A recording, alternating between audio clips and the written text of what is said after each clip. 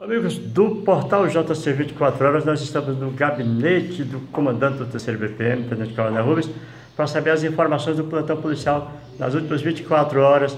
Bom dia, comandante. Manhã de quinta-feira, quais as informações que o senhor tem das últimas horas no plantão da PM? Bom dia, Temístico. Bom dia a todos que curtem o portal JC 24 Horas. Já desejando aí a todos um ótimo dia.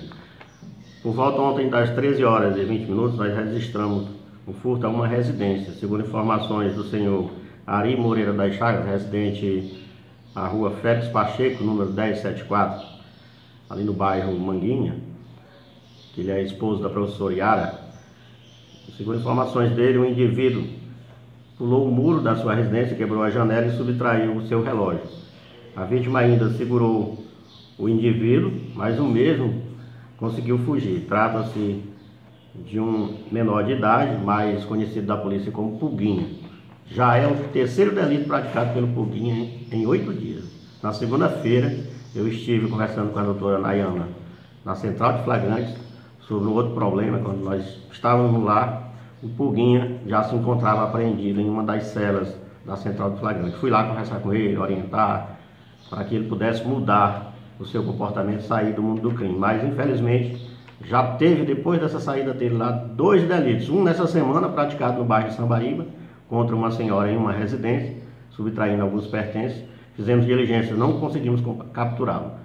Ontem, novamente, ação do Puguinha em uma residência, na, dessa, desta feita aí na residência do, do seu Ari, ali no bairro Manguinha, subtraindo o seu relógio. Infelizmente, ele não teve a mesma sorte do bairro Sambaíba. Ele foi preso e apreendido aí pela guarnição 302 que se encontrava na área, quando fazia diligências pelo bairro Manguinha, localizou é, o suspeito e fez a apreensão dele. Apesar de ser menor, ele foi conduzido para a central de flagrantes, agora deverá ser ouvido aí pela delegada doutora Nayane e depois encaminhado aí para o juízo da infância e da juventude.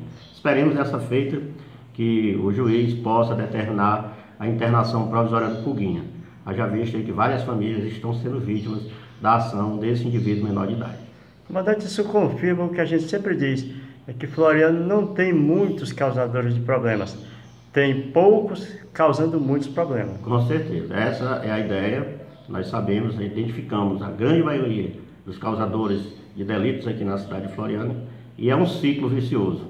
Vai para a vereda, retorna, pratica o delito. Vai para a vereda, retorna, pratica mais delito. Ou então, quando é menor, vai para o SEM, quando tem a internação, pratica o delito no retorno. E aqui na cidade de Floriano, quando não é internado, continua praticando os delitos. Então, a gente fica nesse ciclo vicioso, é como um cachorro querendo morder o rabo.